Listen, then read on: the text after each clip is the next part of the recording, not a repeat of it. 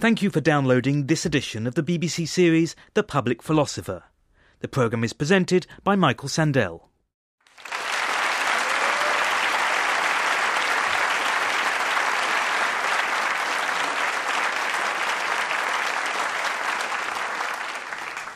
Thank you. We're gathered here in London at the LSE for another episode of The Public Philosopher, and today we're going to discuss why vote? I'd like to begin with an experiment. All of you here who are eligible to vote in the forthcoming European and local elections, please stand up. Now, uh, those of you who are standing, those who are eligible to vote, raise your hand if you intend to vote in the forthcoming elections. Quite a few hands go up. Now, of those of you who've raised your hands, please sit down. And I want those who.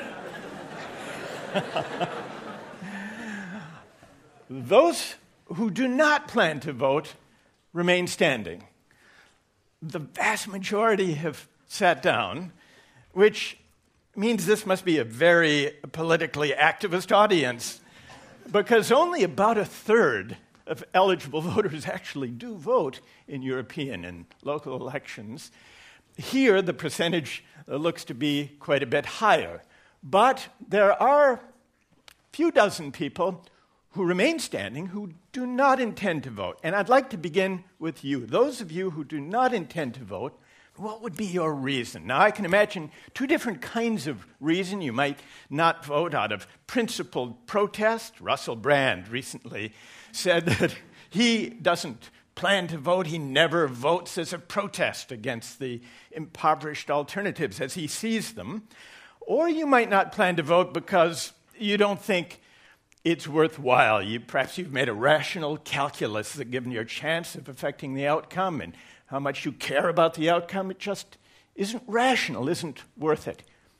What are your reasons? Who will begin our discussion? Yes. I don't believe any of them. you, wait, wait. you don't believe any of them what? What they say. So it, it sounds to me, and what's your name? Ray. Ray, it sounds to me that you're abstaining on principle out of protest. The experience of the last, I mean, I've been eligible to vote for 50 years. They will say something at an election, even if it's in a manifesto or whatever, and it's just never stuck to. I, I believe in. So you've given up? You've given up voting? No. No, I haven't given up. I go along to the polls and I write on the poll slip why I'm not voting. Ah. Do you, do you write an essay or do you. not quite an essay, no. Fair enough. Who else has a reason? Yes. I uh, studied EU law last year and I learned about how the European Parliament doesn't really have much power, doesn't have much effect, so I don't see the point. Because you don't think it makes a difference, really? Well, I learned extensively about how much it doesn't make a difference.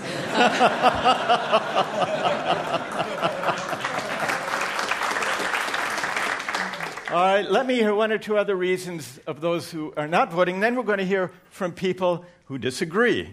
Yes, in the very back, in the balcony. To make a really valuable and important vote, you need to have really good political understanding.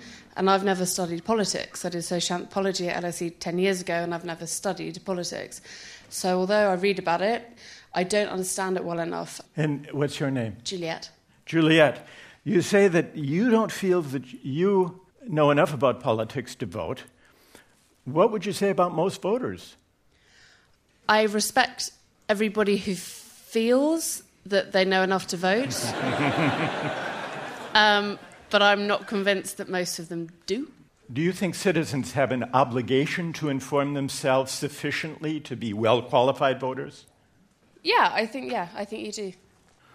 Thank you for that. One of the things that strikes me about the reasons we've heard so far for not voting is that they are all quite high minded reasons. No one has said that he or she is not voting out of apathy. How come? You're prepared to confess. If I'm honest, uh, it's a combination of realizing that every other time local elections have come around, I've always found something else that's just a little bit more important and a little bit more burning and a little bit more pressing for me to do on the day. Such as? Generally, interesting lectures to go to. Maybe a good, uh, good afternoon with some friends in a pub. Any of those sorts of things. I was afraid you were going to say cleaning your garage. Uh, no, I, I'm pretty apathetic about cleaning the garage as well, so. And push comes to shove, the, the lady's point of earlier, the, the idea that local politics or that uh, European elections, the, the idea that my choice will make a huge difference sort of lends itself to the apathy. All right. Now I want to hear from those of you, the majority in this hall, who do intend to vote. You've heard the reasons offered up by the abstainers. What do you think of those reasons? Yes. I think partly that people do have a, a, duty as part of a society to vote, but also I think that um, one of the reasons for voting is that for every person that doesn't vote, there's a lot of people with pretty unpleasant ideas that are voting. By not voting, it doesn't mean nobody gets in. People will get in, so it's best that uh, you have a say one way or the other in, in who's going to run you, because by not voting, you're not being unrun. Good. And what's your name? Uh, Michael. Michael. Yeah, a reply. Yes. The woman in the balcony. I think uh, it seems to me some of the people that spoke earlier uh, misunderstand the nature of local politics. It's not about fighting globalization, your vote next month. It's about local recycling, it's about local children's centres. And in terms of local elections not mattering and not being important, the, I'd say the leader of the uh, local council has, in fact, more power than the MP in terms of how the local budget is spent and what happens and the impact on local people's lives. And tell us your name. Roxanne. Roxanne, uh, would you say that all eligible voters have a duty to vote in local elections as well as in general elections? Yes, I would. Thank you. Are there others who would like to defend the idea of a civic duty to vote and who have a response to the arguments against voting that we've just heard?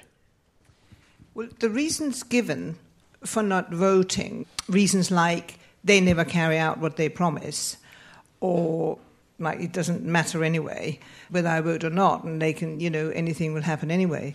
Well, the reason that situation prevails is because we don't go out and vote. If more people were interested, if they knew more people were voting, they would have to honour what they promised, they would have to be more responsive to the electorate. What's your name? Kirsten. Kirsten, what would you say to Cullen and Juliet and others who gave principled reasons for not voting? Speak directly. Let's have Cullen stand up again. and uh, can you what? stand up? Can you stand? Speak directly to Cullen. Well, I, mean, first of all, I bet Colin doesn't know who his MEP is or even his local councillors. No to either question, yes. But we live in a country where you are completely free to send them an email, ring them, go and see them at surgeries. They are completely accessible to you. You can walk into a town hall, you can walk into Westminster. And I think it is your civic duty to avail yourself of that possibility. There are so many people around the world who do not have this ability, this freedom, and we do. I think the reason these guys are repeatedly getting away with what they're getting away with, which I completely agree with you is appalling, is because we do not do enough to force them to respond to us. What about that, Colin? Um, I, uh, these, these are grand, high minded ideals maybe I don't have any particular burning issues that I think are big enough for me to need to make the trek down to the, the local MP surgery. I, I lead a fairly comfortable life. I have no major issues sort of burning in my life. As long as I'm largely left alone, I'm, I'm kind of happy and content with myself. So. Well, uh, that, that's fine. But, but make no mistake about it, that won't last unless we carry on honouring our civic duty to partake in our democracy. I love the argument. I, I genuinely do. And, and, I'm sitting here racking my brain trying to figure out uh, okay, so uh, next year, the year after, I, I haven't gone to the MP surgery, and my life has changed drastically. How? And what you would like to add to this debate? I think that if you do go out and vote, it automatically makes you want to know more about what the political parties are doing. The more you get involved and find out what's going on, the more you might seem to realize actually there are problems, not just in your own life either. It's not just if your life's comfortable, that's fine, but we live in a society, so you want to make sure that we as a whole are going to do, do well as well. And what's your name? Dill. I'd like to go back to Kirsten and Dill, who made the case for a civic duty to vote. Now, suppose you're right that we as citizens have a civic duty to vote. How far should we take this? Should voting be compulsory, Kirsten? In Australia, it is. It's mandatory to vote, and there's a fine, admittedly a small fine, modest fine, about 11 pounds, if you don't vote. Would you like to see voting made compulsory in the UK? Yes, I would like to see voting made compulsory, at least while we have such an appalling turnout rate. I think in order to sort of nudge people along, you need to make it compulsory. And so you would say what to Cullen? You would fine him if he cleans his garage instead of going to the polls? Yeah, I would. Cullen, what do you think?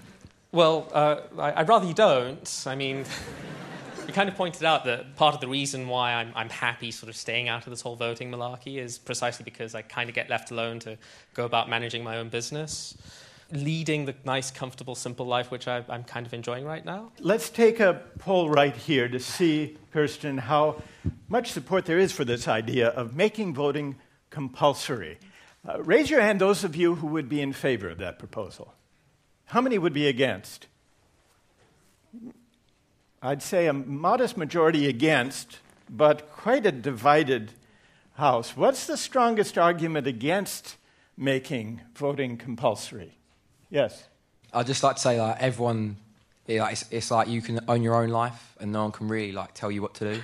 So if it's your, you can encourage people to vote because voting's a good thing in like a modern society, but you can't be forced because it's your time.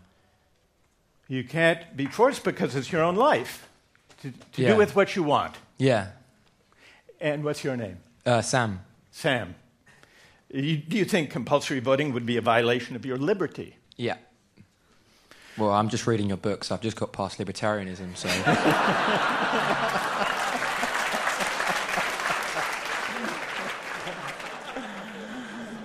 In that case, Sam.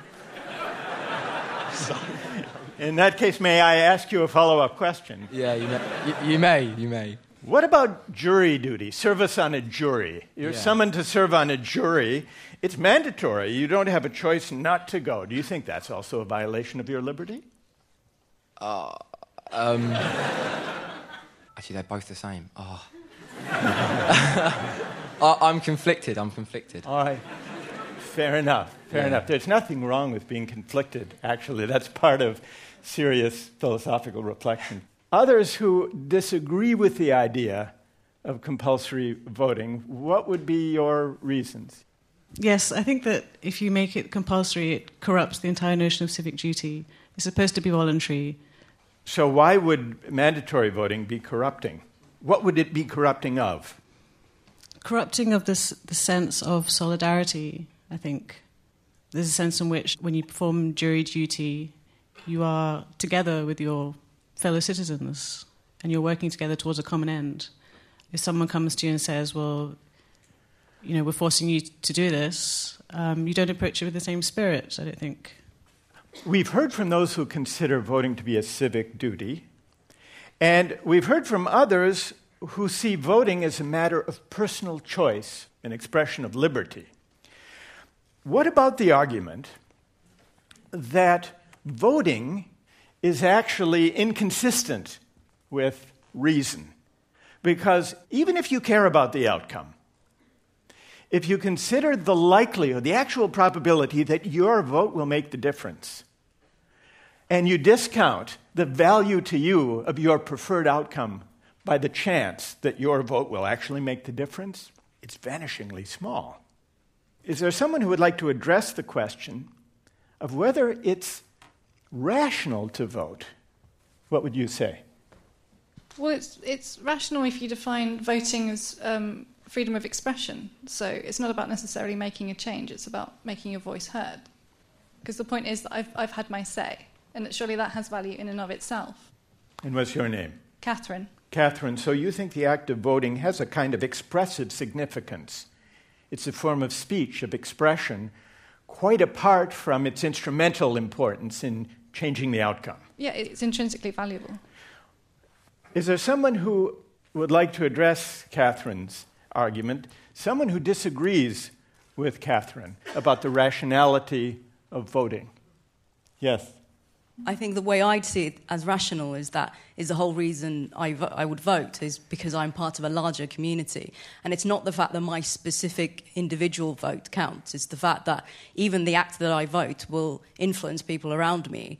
So it's not the fact that me saying yes once to something will actually turn the tide, it's the fact that me saying yes is the same as then 50 people saying yes for the same reason I'm doing. And suddenly that does make a difference. What's your name? Anna. Anna. Anna, could I ask you your view about a scenario I once heard about? There were two American professors who were on sabbatical leave in the south of France on an election day in the US. The only way they could cast a postal ballot was to travel four hours by car to the nearest consulate or embassy to vote. One of them was a Democrat, the other was a Republican.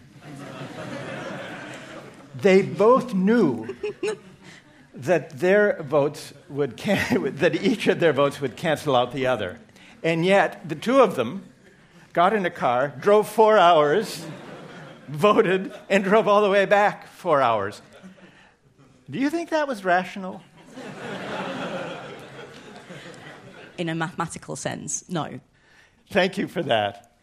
Is there someone who disagrees with the rationality of voting understood in strictly economic terms or individualist rational terms, weighing costs and benefits? Is there someone who disagrees with the idea that voting is rational? What would you say? I'll go a, a, a bit of a different direction here. Um, if we think in terms of game theory, you vote because you think if you don't vote, enough people also not voting might mean that your vote is significant. So you vote on the possibility that it might be significant. Now, I don't vote because I think it's rational, and I don't subscribe to that theory. I believe in a social contract, and that's why I vote. But that could be a rational reason for voting. What do you think about my story of the two professors? Did they, were they acting rationally? Well, in that, what if they hadn't gone together and one of them had decided to go?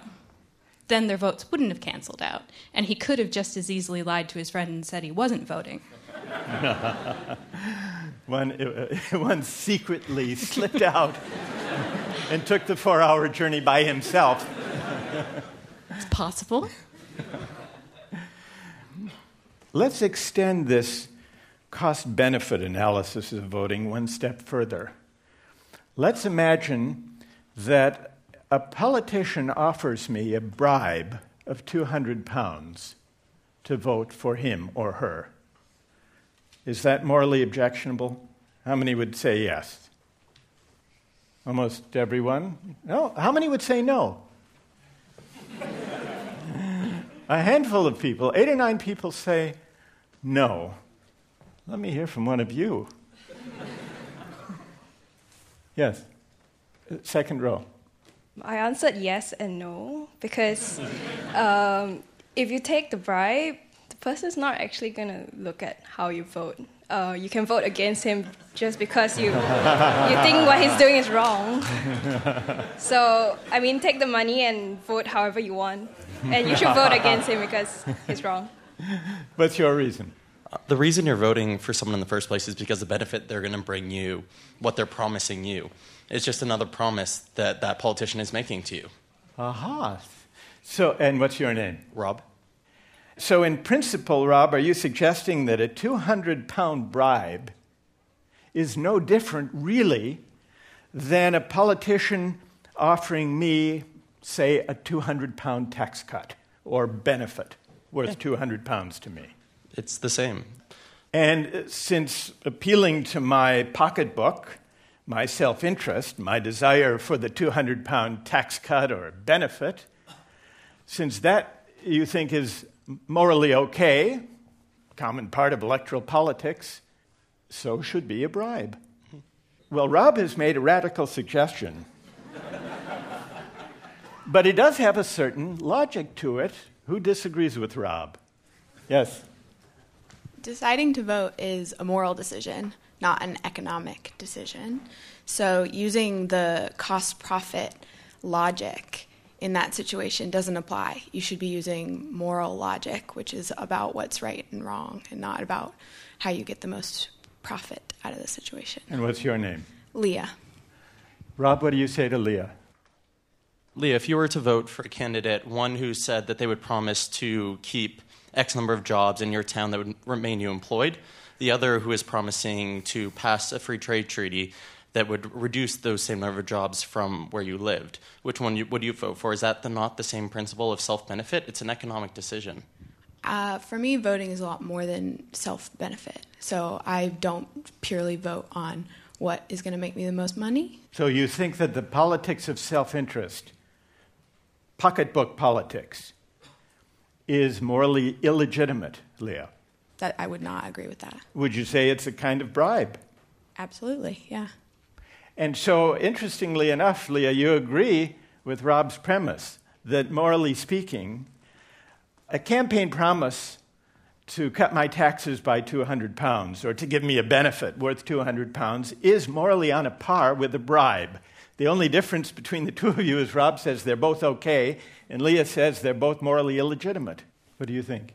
I would say the problem wrong with bribery is that it's outside the system. Part of the system of politics, I think, is to enrich the citizens that sign up into it. And if the system is used by a politician who gets into power to do that, I think that's fine. But I think when the politician goes outside the system and takes a shortcut to get directly to the citizens, takes money out of his own wallet to pay them, he can use a superior position of wealth to get his own way. So, and what's your name? Nat. Nat. So you see the moral difference between a bribe and a campaign promise appealing to economic self interest in the fact that the bribe comes out of the politician's pocket, not from the public treasury. But why doesn't that actually make the bribe better? It doesn't raid the public treasury. The politician is paying for it himself or herself. Because someone with a lot of capital and income could use his wealth to gain votes rather than using a smaller, limited resource and more equal resource to gain votes. Yes. I think there's also a difference in that if you vote for a campaign promise, it still has to go through, for instance, Parliament. There's still an element of debate within it. So there's still a chance for others to have a say in it and make it more, like, less of a personal economic interest as opposed to a bribe where there's just self interest. But from the standpoint of the voter, and what's your name? Julia.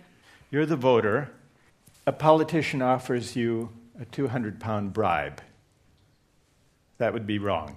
it would be wrong to take it. Yeah, it would be. And the same politician offers you a 200 pound tax cut or benefit. It would be wrong to take that? It wouldn't be wrong because you'd still be doing this through a democratic process. So your vote would then be pooled together with everyone else's votes and everyone else would then like as a society would determine whether or not that particular tax cut is beneficial is not beneficial so you're not acting as an individual taking the bribe you're acting as a member of the community deciding whether or not the tax cut is beneficial yes Don't we have enough trouble with rich people uh, influencing politics? We've got people with lots of money b- uh, buying votes on a massive scale, really, that's going on, in, certainly across the Atlantic, and it's increasingly true here. People are going to afford to spend money on advertising. If we let people buy votes directly, we're just giving more power to rich people.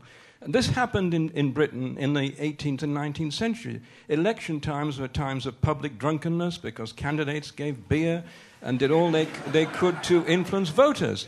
I mean, but it changed when politics became more about affirming your identity, saying who, you know, what cause you believed in. That's still the case in places like Northern Ireland, which is why more people vote there. But here we've ended up in a system where people are just making purely pragmatic choices of what's best for them. That's the trouble. I mean, p- politics is no longer seen about sort of what sort of vision of society you want to implement and support. Tell us your name. Paul. Paul. So you think, in a way, that democracy these days does tend to be dominated by self interest. Yeah. But yes. you see that as a kind of corruption of, of democracy itself. Well, I think it's what has happened is we no longer have major divisions in our society. People don't vote with a sort of identity politics. So in the 19th century, nonconformists voted liberal, and the Tory party was the Anglican Church, all that kind of thing. That's all gone. So when people go to the polling booth, they're not sort of making a statement about who they are, what, what their identity is. Maybe in some cases they still are. I mean, I think class is still an important issue here, but this kind of element has gone from politics. In some ways, it's good. We don't want to go back to the sort of violence and strife it engendered, but it does mean that there isn't that same kind of division that people are really concerned to vote. Your two American professors, one of them was probably, I don't know, a, a, a Republican from the South, an evangelical possibly, and the Democrat may have been a Harvard professor from the West Coast, and they were going, to, they were go- from the East Coast, they were going to affirm their values. That's what they were voting for. So now our discussion has taken quite an interesting turn because we began by discussing bribery, outright bribery, and most people were against it. But as the discussion here has evolved, a number of people have suggested that a politics of self interest is really tantamount to a politics of collective bribery. And then people have been pressed to say, well, then what else should democracy be about?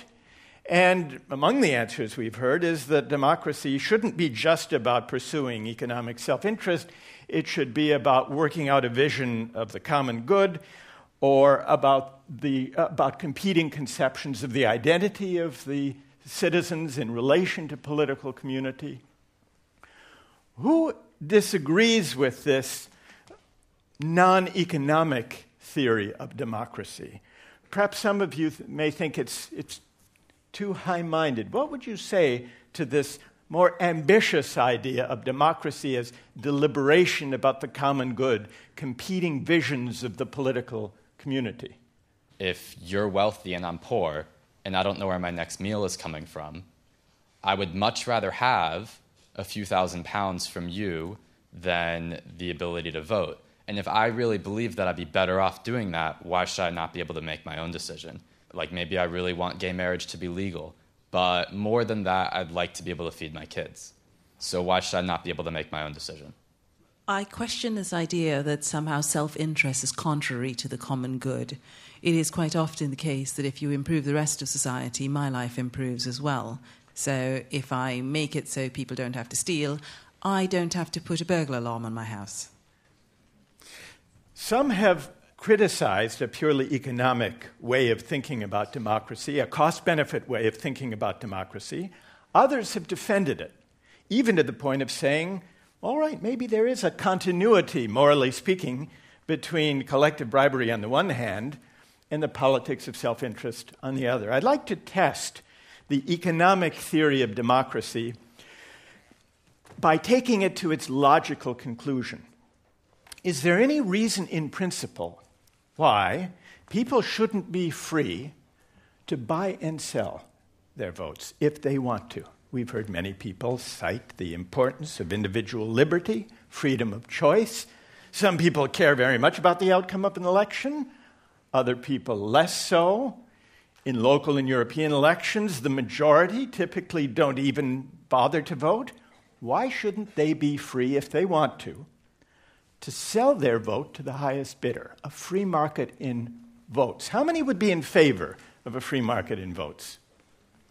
Only about six or seven, eight people. Let's hear first from those of you who would favor a free market in votes. What would be your reason? Maybe there's a possibility for those that don't actually want to vote. If they were to sell it and give it to someone who would, then there'd be less wasted votes.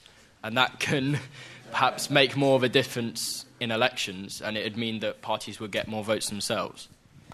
What's your name? Jack. Jack suggests that if we allowed the buying and selling of votes, there would be fewer wasted votes. That's probably true. Think of all of the votes that are going to be wasted in the forthcoming election. Why shouldn't people who don't much care about voting be able to get some value out of it, Jack? Yeah. Right? Yeah. Who has an answer to Jack? Yes, in the second row. I would assume that the richest politicians would buy all the votes and you would no longer have democracy. What about that, Jack? Well, what if they were sold between voters instead of parties? How are you going to come up with a system where you can stop people beating the system with the most money and buying all the votes? Well, surely it's a person's choice if they choose not to vote. What's the point in then that not contributing to the democracy if they're not going to do it? I, I agree people should be allowed to abstain, but I think I can't see how you can come up with a market for votes which cannot be corrupted. What's your name? Hector. Hector. But if there were a purely free market in votes, are you saying that that market would itself somehow be corrupted, or by definition, such a market is corrupting of what democracy ought to be? Uh, the latter.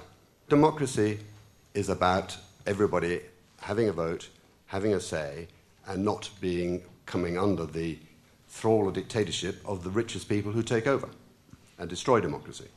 We all know that in an ideal world, the most perfect form of government is a benevolent dictatorship. But we so far failed to find any benevolent dictators, so we go with democracy instead. and you can't have democracy without votes.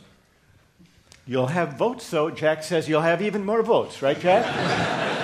Well, if votes were marketed, then maybe it's not. They were not economically, but politically, surely. If those that want to. Sorry, the definition of democracy is that everybody has an individual vote which belongs to them. What if they don't if want you it? start giving it away, then it's no longer democracy. In the back, in the back, in the back row. The first point comes down to is if you have a vote, you own it. So, for example, if you own a pen, uh, I could sell a pen and nothing could stop me. So, if I own a vote and it's in my name, then I should be able to sell that no different to if I own any other particular uh, asset. And then the second thing comes down to is that there is nothing stopping a whole group of people all getting together in exactly the same manner. So consequently, you could have one rich person who could come along and buy votes, but there's nothing stopping a hundred, relatively speaking, poorer people all getting together and pooling their resources to buy votes. So it's not necessarily uh, the rich person that always buys the votes. You could have a grouping of uh, less powerful people. But as far as I was concerned, I would just sell my vote to the highest bidder. And what's your name? Michael. Michael, I want to take Michael's first argument that says having a vote is like owning something. It's my vote, just as this is my pen. And just as I should be free to sell my pen or anything else that I own, so I should be free to sell my vote. We heard many people argue against compulsory voting in the name of individual liberty. Why do not more people agree with Michael that I should be free to sell my vote if I want to? Well, your vote is actually the only thing that ensures that you're equal. Like, in the sense, it's the only fundamental thing that ensures de- uh, equality in a democracy. And if you sell your vote, then you're undermining the equality of the system. Who else? Uh, I'm not sure that votes are the kind of things that can be sold. Um, ownership isn't always that clear cut. Uh, for example, if you get a prescription for some painkillers, you don't necessarily then have the right to go and sell them on the street. What's your name? Stephen. Stephen, why do you think that my vote is mine? I can cast it however I wish. It's mine in that sense. Why is my vote not something that I should be free to sell if I want to? I think voting comes along with a lot of other values attached to it. Um, for example, there's the intrinsic value of actually taking part in democracy. And this, in a way, goes back to our earlier discussion about whether there's a civic duty to vote. Yeah. Now, I'd like to go back to Kirsten and Cullen, who got us going on this question of whether there's a civic duty to vote and whether it should be compulsory. Cullen, you've now heard this debate about where the economic theory of democracy based on self interest, you having other more important things to do than vote, where it's led, even to the idea that maybe we should have a free market in votes. What do you think about this debate? It feels a little bit sordid. Uh, Sordid? Sordid, yes. Why Uh, is that? While I'm happy stepping back from uh, an election where I, I don't think my vote's going to make a huge difference, where I, I don't feel very connected to the issues, once we start thinking about things like selling votes, um, I get the very real concern that sorts of people are going to get the sorts of power which I don't think I, I really want them to be getting. And that's not good enough, though, because the, there is a visceral response to the idea that there's something just a little bit ick about selling a vote. It's just, and I'm not quite sure what it is that's driving that sense. Um, We've been wrestling with that Yeah. throughout this discussion in a way. yes. And when you say there is something sordid about the idea of selling votes, Mm. maybe also about equating a bribe to a campaign promise, is what's sordid, and I see why you say it's hard fully to articulate what exactly seems objectionable. Do you think it suggests that there's something corrupting of what democracy is all about if we conceive it in purely self interested terms? Is that what's at stake? I don't feel confident saying just yet for sure. Right. Yeah. Fair enough. Kirsten, what do you think? Well, firstly, I don't think a vote is an asset, it's a right. The moment you start monetizing rights, you are straying completely away from what we consider as being a pluralistic democratic system. The whole idea about democracy is that everybody is equal. That's the theory, anyway, that we are all equal, which means that if I have no money whatsoever, I can still go and vote. If I have lots of money, I can buy lots of votes. You're then not talking about democracy any longer. When you say that my vote is not an asset, it's a right, Yeah. Some people we've heard say it's my right, and therefore I should be free to sell it if I please. Well, your, your rights in a democracy, your human rights, if you like, belong to your identity. They're attached to you, to your being. My vote is attached to my person. And so, would you say that the vote is a right, but also at the same time a duty, and that's why I can't sell it? Yes. It, it is a duty, which is why I want to make it compulsory and fine Colin if he doesn't go and vote.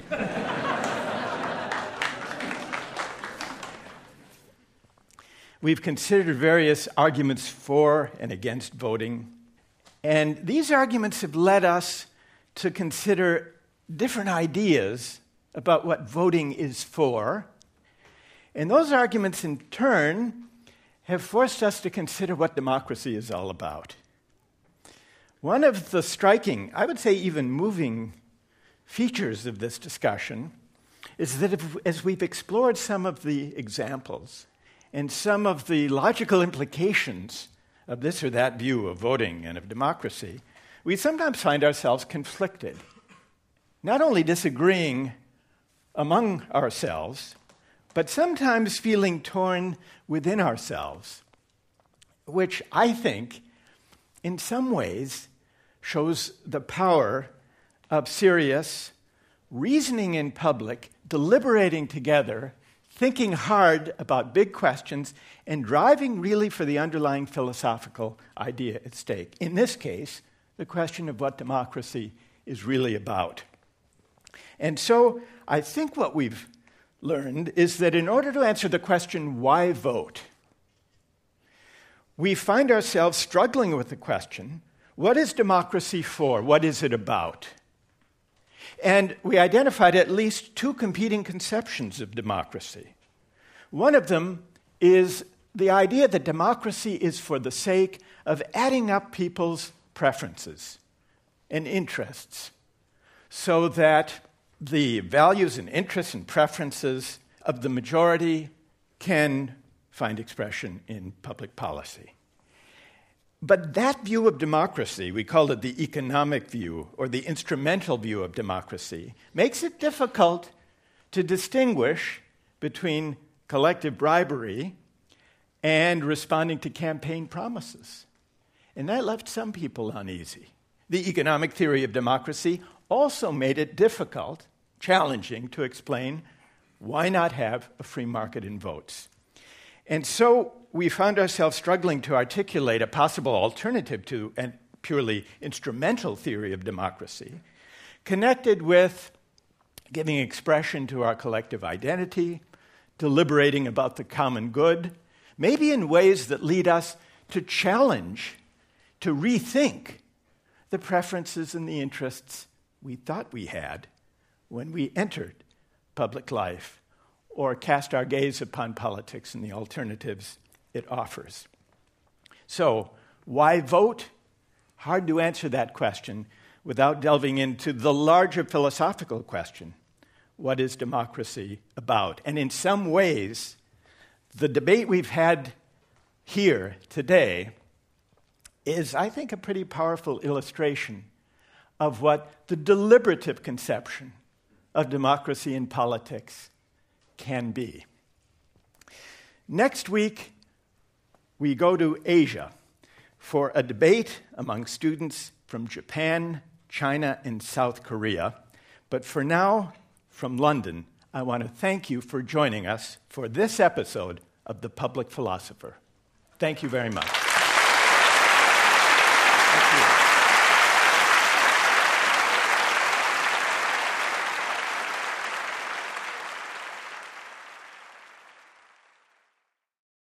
That was The Public Philosopher, presented by Michael Sandel. The producer was David Edmonds.